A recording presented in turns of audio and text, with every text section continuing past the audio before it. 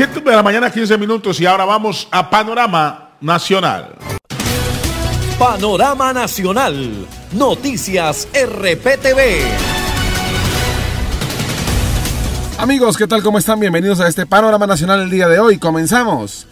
La pasión por el fútbol también se lleva puesta. La Isbalí. Alexander Beltrán se dedica a fabricar leggings y sus clientas del madrugón de El Gran San Victorino buscan siempre novedades. Yo quise hacer leggings del mundial por, porque pues queríamos vestir a la mujer, porque la mujer es eh, solamente se visten con camisetas, casi nadie saca ni jeans ni leggings. Ofrecen modelos para todos los gustos, con pedrería, con los escudos de los equipos y hasta con algunos marcadores. Unos leggings que apoyan la selección me parece una manera súper divertida y original de además de la camiseta tradicional poder apoyar a la selección usando unos leggings muy lindos y muy divertidos. Los pedidos de estos leggings del mundial van en aumento.